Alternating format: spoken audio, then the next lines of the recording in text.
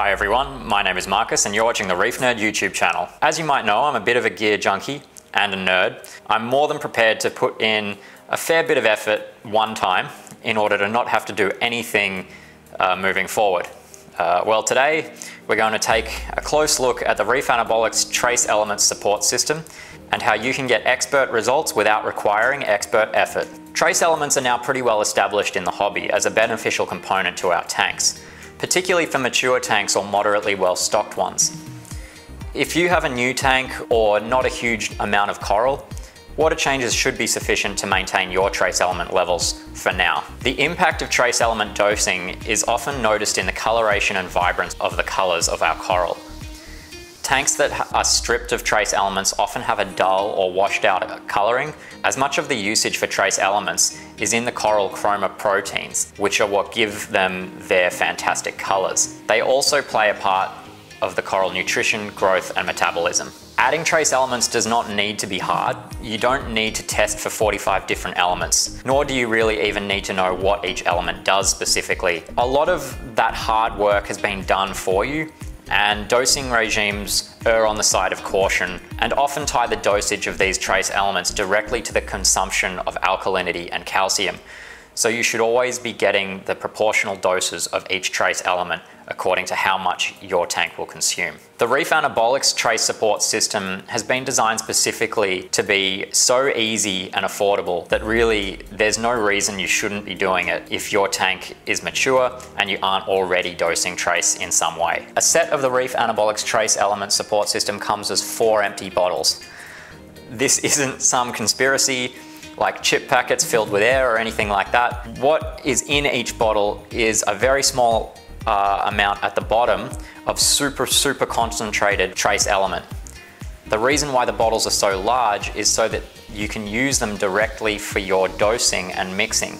You simply fill each bottle with RO water and shake it. It couldn't be easier. If you dose two part, you add 13 ml of reef halogen liquid to one liter of your alkalinity mixture. You add also 13 ml of each reef growth and reef metals pro to your calcium mixture.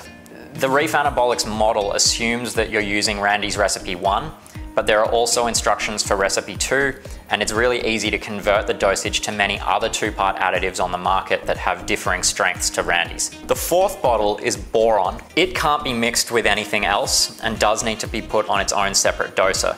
It also needs to be mixed with more water. So that's two liters of water for the one liter size bottles or one liter of water for the 500 ml size bottles like I have here. What I did was mix it in the mix in the appropriate amount of water, pour half back into this bottle, the original bottle, and then half into a Voss bottle, which is what I'm using to dose my tank. The dosage for boron is 1 mil per 100 litres for a heavily stocked system, or half that for a moderately stocked system. It may seem annoying that boron is dealt with slightly differently to the rest, however it's just the reality of the element. It's important, however, as boron dosing has a large impact on red and orange coloration, and it's used to help precipitate the construction of coral skeletons. SPS junkies swear by it, so it's well worth the effort.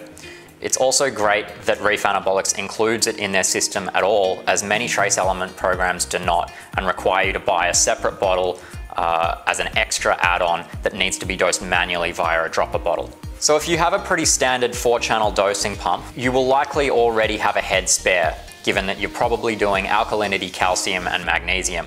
What you'll do to incorporate the Reef Anabolics trace system is mix halogen with your alkalinity, growth and booster with your calcium, leave magnesium where it is, and then use the fourth head for boron. If you use a calcium reactor, there's a simple calculation to dose the, the Reef Anabolics trace program. Based on a 1000 litre tank, at half a DKH consumption a day, you would dose 2 mil straight from these bottles. A full set of the RA Trace is super affordable, coming in at roughly $150 for the set. This set of the 500 mil bottles will last my tank, which is heavily stocked and growing rapidly, well over a year. The RA Trace lineup covers every trace element except potassium. However, they have just released potassium as part of their macro element lineup and range. It will require a fifth dosing head though in order to automate, Alternatively, there are manual dropper bottle style products for potassium on the market from Coral Essentials, Aquaforest and others. It's up to you. However, if you've come this far in your automation journey, I would invest in an extra dosing pump. I've covered some single channel cheap dosing pumps in a previous video. You can click that here to watch it.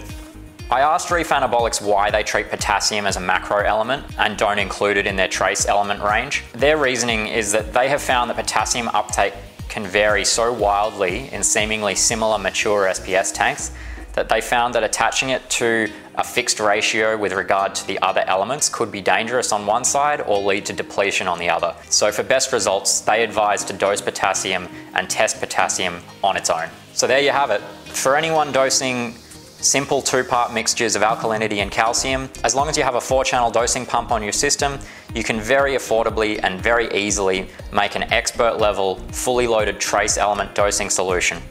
Add a fifth pump for potassium and you'll really be cooking. I hope you found this video helpful. Remember to like and subscribe for more content.